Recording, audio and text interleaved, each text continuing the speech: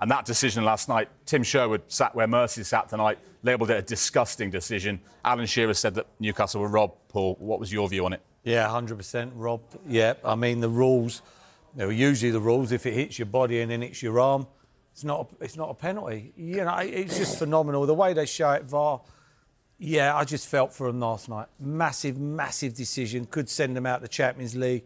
Would have been an, an unbelievable result for Newcastle United to go to Paris Saint Germain and win 1 0. Would have gone down in one of the biggest results for them.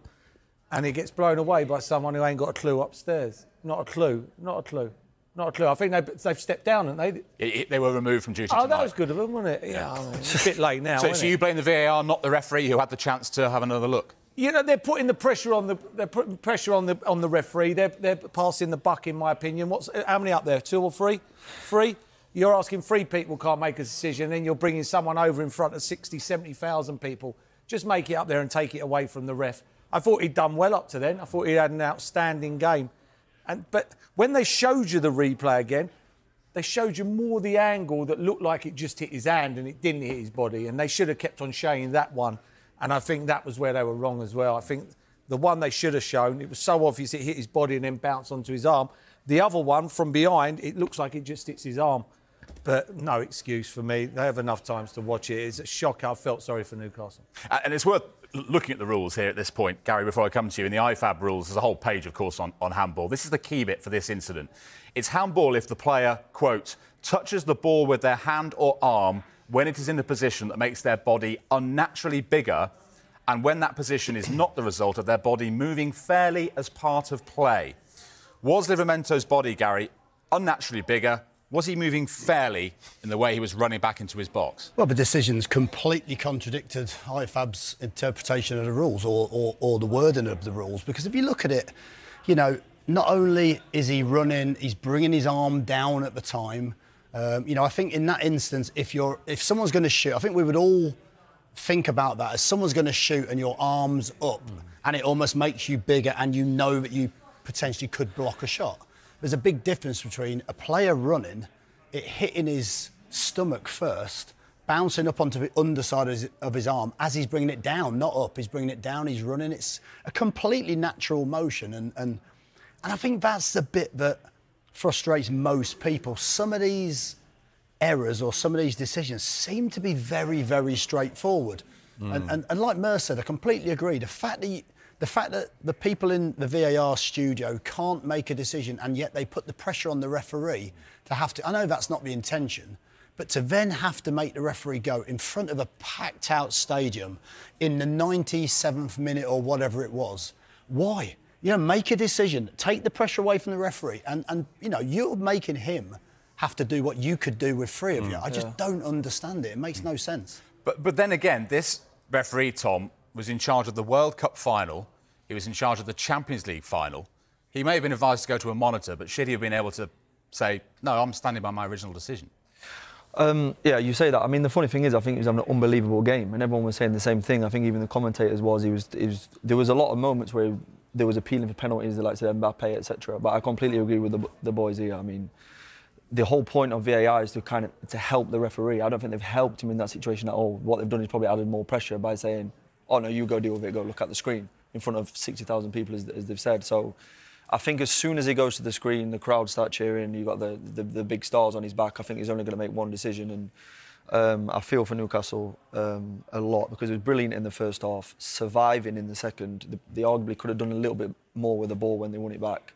Um, but yeah, as you said, it could have been a hell of a result, and yeah, it looks like they, they could be going out now.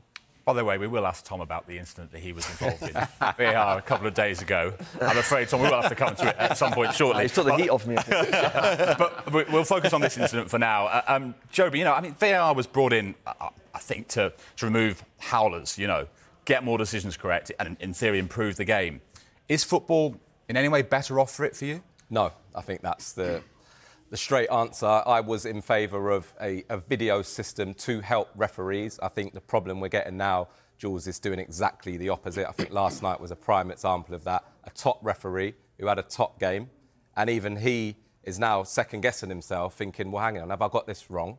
Again, I think the clear and obvious is the big issue here for me. I think, yes, use a screen. We all know VAR's not going anywhere.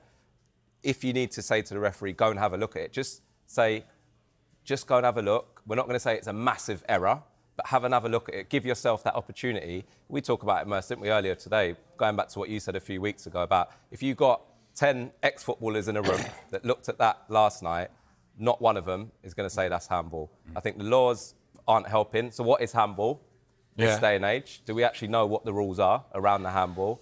But there's just no way that a referee can go and look at that, in my opinion, and come out with that decision that Joe, that is handball. the thing is, it's got to a stage though. As soon as it calls the ref over, the fans are up. They know it's a, they know it's a penalty. Yeah. It's like it's like it's written It's law now. power away from yeah, it's like it's written law. It's like as soon as they run over, everybody jumps up, going mad. and, that, and that's a top one. So you can Yeah. imagine other referees Wow, that yeah. haven't got that sort of Yeah. stature in the game. It's- the minute they get that shout to say, right, you need to get over to the Yeah. screen, the decision's already made before they get Yeah. there. And I think that's the big issue. It's not VAR is not helping referees Hmm. in the way it should be, in my opinion, the way it's being used at the moment. You got a solution for us, Lee? Um, Scrap it. scrap it. Let's get rid of it. They're not going to, are they now? No, they're not going to because they've gone so far. And I, I like the fact that they're bringing sin bin in as well. To be honest, everything. Stirring the pot. We'll save that conversation. But no, I'm um, listen. I, I, I, I'm with I'm with everything that, that the guys have said here. You know, there's there's so much that you know you try to digest and try and have an answer for, and, and really and truly there is no answer. The only thing is we constantly are talking about VAR every single week, mm. it, midweek decisions, weekend decisions, and it's it's spoiling the game, Jules, and that that's that's the annoying thing because I'm not a Newcastle fan, but I'm furious for mm. Newcastle because they worked damn hard last night to go and get a historical result, and that decision there, you know, we talk about the referee having a fantastic game, but he's got he has got to make a decision himself, hasn't he? Let's um, just get back to our chat about um, VAR. Um, Paul, it was interesting. Lee mentioned um, sin bins, and that's one of the things that was being discussed by IFAB. You, you're shaking your head. Um, but, but actually, they were also looking at ways that possibly they could extend the use of VAR. Uh, second yellow cards, free kicks. Are they trying to run before they wa- walk? Should they be focusing on getting this right before starting to extend? Hundred percent, hundred percent. You got to fix this first. This is not. This is not fixed. Soon as this gets done, then you maybe move on. But for me, no. It's all over the place. You know, that's the saying. The, Gary said the decisions are not even hard. It's not like we're sitting here and half of us are going, "Oh, it could have been that way or that way." I mean, on a consistent basis, they're getting it horribly wrong. You're talking again, people. They're trying to copy, and I know rugby. Rugby's massive. Rugby union, rugby league. They're very good at it. They've got it off to a tee, They have, and they've been working on it a long time. But their sin bin is massive. You get a sin bin in rugby union or rugby league, you're talking seven to ten points. The game opens up. It's very rare you're not going to get majorly punished for your sin bin. In football, you just sit 10 behind the ball and the game will be killed and then the ball go out and they'll jog and get the ball and they'll throw it in and they'll and they'll waste time and then someone else will get sin bin and someone else and everybody will be looking at the at the scoreboard and they'll be going Tom's coming back on in four, Sounds coming back on in three, and then we'll, what will we be then? We'll be 10 v 10. And it, that's how it's going to be. That's not football. They're ruining the they're ruining the game.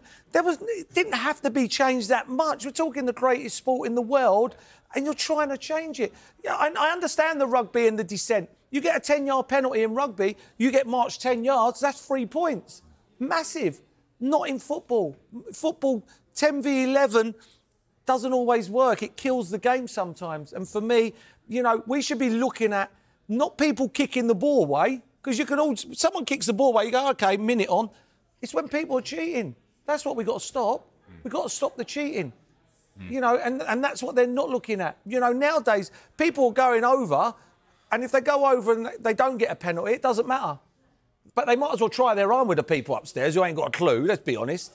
They haven't got a clue. So why wouldn't you charge your? You know, I go back to last season, all the way back to the start of the season. I've done Sky, the Sky game at Old Trafford. Eriksen gets the ball in the halfway line. I think Odegaard goes into him. He touches his back. He falls over. They break. Martinelli scores. But because Eriksen goes over, they have to go back. So you might as well fall over and take that chance. If you don't fall over, they don't bother looking. So you fall over, take a chance. They went, oh yeah, he's a foul.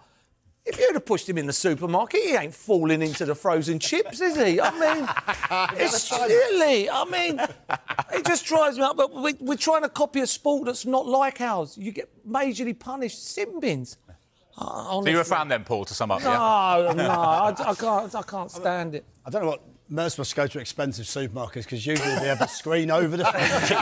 Oh yeah. So you couldn't go straight in there. But I think, it, but Mercy's exactly right. I mean, when, when you look at the original, I mean, I sat in the meetings in the summer, and a lot of the meetings um, around some of these things, the extra time being played, the ball in play time, it was all about the stakeholders that are investing huge amounts in football and making the game cleaner and making the game a better product to watch for everybody. Um, and I understand some of the ramifications of lower leagues and lower league refereeing and, and some of the ways that maybe the, the, the pro game can help that. But football's a chaotic game, isn't it? It's a dynamic game. There's so much joy and so many highs and lows. And I don't think that's been taken into consideration with all these changes. And what it's actually doing now, for everybody, for the fans more so, it's taking that joy and taking that spontaneity out of a game. And it's just draining, it feels like it's draining the life out of live matches. Now, I've not been into a stadium live, but I know for the lads who have, everyone's saying Yeah. the same thing. It's ruining the enjoyment for the fan, and that was what it was all about. You said, Gaz, didn't you, being in the Championship, comparing it to the Championship in the Premier League, is that sometimes you're going to get decisions go for you, and sometimes you're going to. And we don't talk about it as much in the Championship and, and League One and League Two. Premier League, we're constantly talking about VAR decisions.